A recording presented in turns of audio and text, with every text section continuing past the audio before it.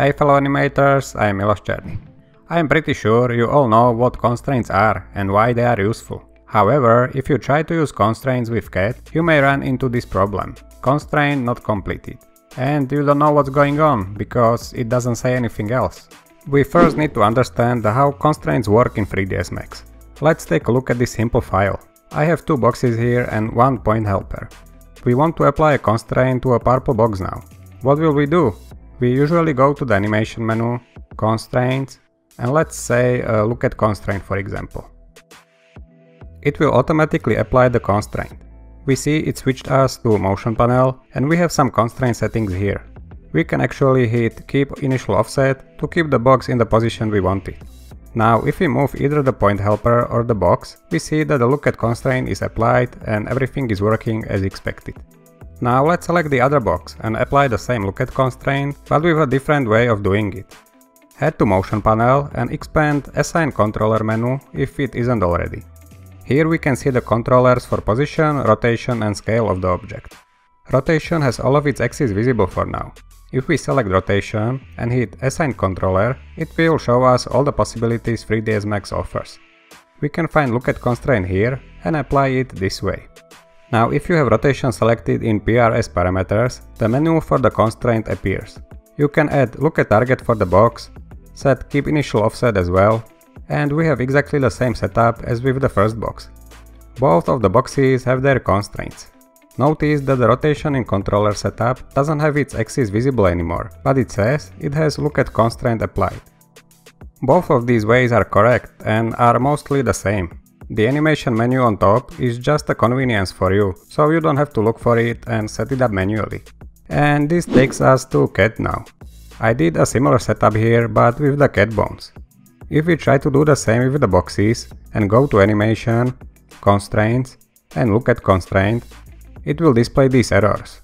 The way around this is, you guessed it, the other approach we just did. So select the bone and go to motion panel. Expand assign controllers. But where are all the parameters? There's nothing here. And this is the part I want you to learn with this tutorial.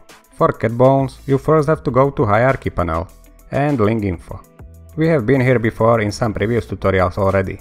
Here you can find some important settings for the cat bones.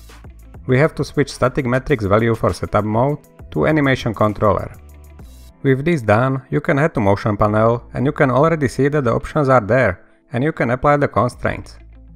However, first, with the switch to animation controller, you should almost always apply additive to setup pose for layer settings as well. I will explain what this does exactly in another video, which will be linked in the top right corner when it's done. For now, just enable it. So let's head back to motion panel and apply the look at constraint for rotation. Add the other bone as target and done. Look at constraint is set up.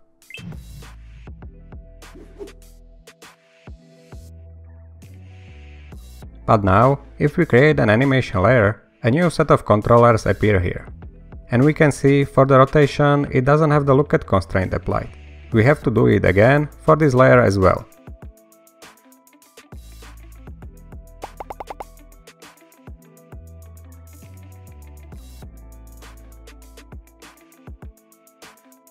Now if we create another animation layer, it's not there again. But if we delete it and head to the link info with animation mode enabled and the animation layer selected, we can hit remember layer settings and that applies the settings for all the future layers created. And this is basically all there is to it. Select the bone you want to constrain, switch to animation controller mode, activate additive to setup pose, and you can apply constraints in CAT. But keep in mind that by using constraints and cat, you might not be able to save and load animations between different characters correctly. It will still work fine for this character you are doing it for though, but animation from rig with constraints will probably not load correctly on the rig without constraints. So just keep that in mind. Anyway, share the video if you have found it interesting. Thank you to all my Patreons and see you in the next video. I am Miloš Černý and thank you for watching.